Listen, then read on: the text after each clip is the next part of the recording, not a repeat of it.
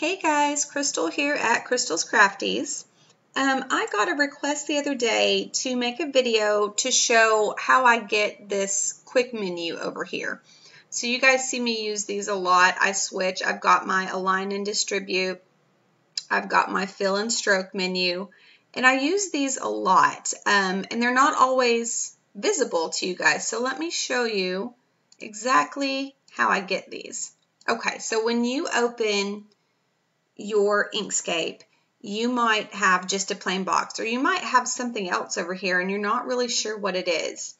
But there are three things that I use a lot when I'm editing my designs. And I like to keep them right over here on the right so they're quick and easy. And the way you get them is super simple. All you have to do is come up here to the menu or the function that you want. Like this is my align and distribute. If I click it, it automatically appears over here on my right. I use more than just this though. I also use this fill and stroke menu a lot. So I click it and it got added over here to my right. And the other one I use a lot is when I export things to PNG image and that's not that's not up here in any of these menus. That's over here in file and export PNG image. And then you'll see that pulled up over here too.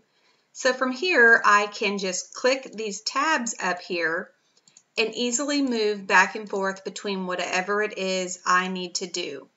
And let's say I don't want something. It's up there, but I don't want it to be there. Like maybe I don't want this export to PNG. There's a little X beside it. You just close it and it leaves your menu.